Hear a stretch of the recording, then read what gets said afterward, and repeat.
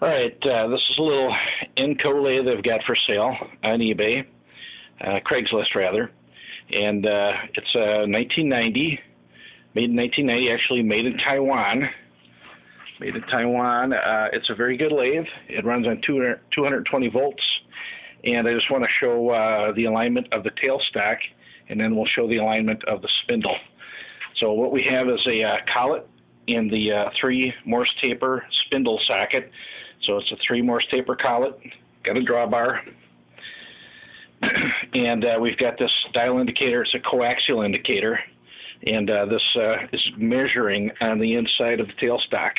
So right about now, it is uh, going to measure front and rear uh, alignment. So if we look here, uh, I've got this dark indicator right in line with the with the needle and uh, we're going to rotate it around to the back and in so doing we see that uh, the uh, indicator really hasn't changed.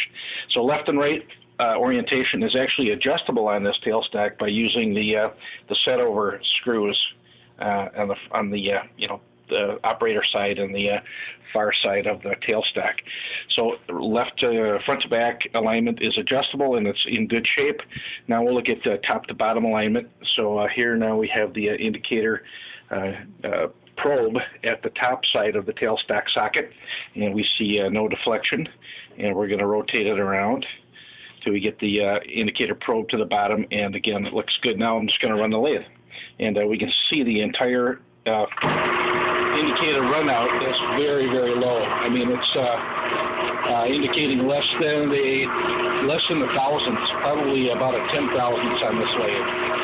You hear how quiet it runs. Everything runs really well on this little guy.